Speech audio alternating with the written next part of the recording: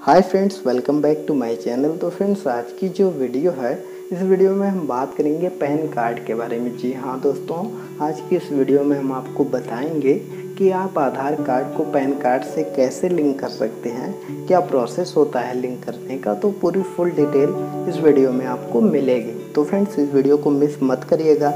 बहुत ही important video है तो फ्रेंड्स चलिए इस वीडियो को स्टार्ट करते हैं। उससे पहले फ्रेंड्स अगर आप लोग हमारे चैनल पर नए हैं और चैनल को सब्सक्राइब नहीं किया है तो चैनल को सब्सक्राइब कर लीजिए और साथ ही में बेल आइकन भी प्रेस कर दीजिए जिससे कि मैं कोई नई वीडियो अपलोड करूँ तो आप तक उसकी नोटिफिकेशन सबसे पहले पहुँच जाए। तो फ्रेंड चलिए वीडियो को स्टार्ट करते हैं और बात करते हैं कि आप आधार कार्ड को पैन कार्ड से कैसे लिंक करेंगे। तो फ्रेंड सिंपल सा आपको काम करना है।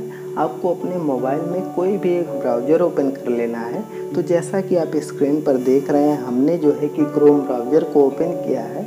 तो यहाँ से आपको क्या करना है कि गूगल में आना है और गूगल में आने के बाद आपको सर्च करना है इनकम टैक्स जब फ्रेंड्स आप गूगल में इनकम टैक्स सर्च करेंगे तो कुछ इस तरह से ऑप्शन ओपन होगा और यहाँ से नीचे देखेंगे तो यहाँ पे सबसे ऊपर ही इनकम टैक्स की जो वेबसाइट है ऑफिशियल, वह शो हो रही है। तो इसी पर आपको क्लिक कर देना है। जब फ्रेंड्स आप इस पर क्लिक करेंगे तो कुछ इस तरह से यह वेबसाइट ओपन हो जाएगी और यहाँ पर सबसे पहले इसको हम कट कर लेते हैं।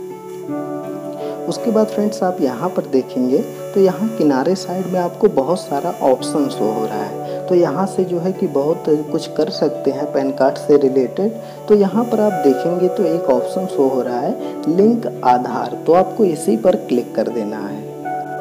जब फ्रेंड्स आप लिंक आधार पर क्लिक करेंगे तो कुछ इस तरह से ओपन हो जाएगा और यहाँ पर देखिए, यहाँ पे आपको चार पाँच ऑप्शन शो हो रहे हैं। तो जिसमें कि सबसे ऊपर आपसे दे रहा है कि पैन तो यहाँ पे आपको पैन नंबर सबमिट करना है। उसके बाद जो है कि उसके नीचे आप देखेंगे तो यहाँ पर दिया गया है आधार नंबर तो यहाँ पे आपको आधार नंबर लिखना है। जो भी आधार नंबर आपको रजिस्टर करवाना हो, अपना आधार नंबर यहाँ पे डाल दीजिए। उसके नीचे देखेंगे फ्रेंड्स तो लिखा गया है कि नेम एज पर आधार। तो यहाँ पे जो भी आधार कार्ड में आपका नाम है, उसको भरना है और उसके नीचे देखेंगे तो लिखा गया है कि I have only year of birth in Aadhaar card. तो इस पर अगर आप क्लिक कर देंगे तो जो भी डेट ऑफ़ बर्थ है आपके आधार कार्ड में वही ले ली जाएगी और उसके नीचे देखेंगे तो लिखा गया है कि I agree to validate my Aadhaar details with UDI तो इस पर अगर आप क्लिक कर देते हैं तो जो भी आपकी आधार की डिटेल्स है वह आपकी यूडीआई से ले लिया जाएगा और उसके नीचे देखेंगे तो दिया गया है कैप्चा कोड तो यहाँ से जो आपको कैप्चा कोड भरने का ऑप्शन दिख रहा है इसमें जो है कि कैप्चा कोड भर देना है। अगर आपको कैप्चा कोड नहीं भरना है तो यहाँ से आप नीचे देखेंगे तो यहाँ से आप रिक्वेस्ट ओटीपी पर क्लिक कर सकते हैं। जब आप रिक्वेस्ट ओटीपी पर क्लिक करेंगे तो यहाँ से आपसे मोबाइल नंबर पूछा जाएगा। जो भी मोबाइल नंबर आप भरेंगे, आपके उस मोबाइल नंबर पर एक ओटीपी सेंड की जाएगी और उस ओटीपी को आपको यहाँ पर इंटर करना होगा। तो जब ओ टी पी यहाँ पर इंटर कर लेंगे तो उसके बाद आपको क्या करना है कि यहाँ से देखिए, नीचे आएँगे तो यहाँ पे लिखा है लिंक आधार तो आपको इसी पर क्लिक कर देना है। तो फ्रेंड जब आप लिंक आधार पर क्लिक कर देंगे तो जो भी आपने आधार कार्ड का नंबर इंटर किया था, वह आधार कार्ड आपके पैन कार्ड से लिंक हो जाएगा। तो फ्रेंड्स, इसी तरह से जो है कि हम आधार कार्ड को पैन कार्ड से लिंक करते हैं। अगर आपको फ्रेंड्स चेक करना हो कि आपका आधार कार्ड जो है, वह पैन कार्ड से लिंक है कि नहीं है तो उसके लिए आपको क्या करना होगा कि इसी वेबसाइट पे आ जाना होगा।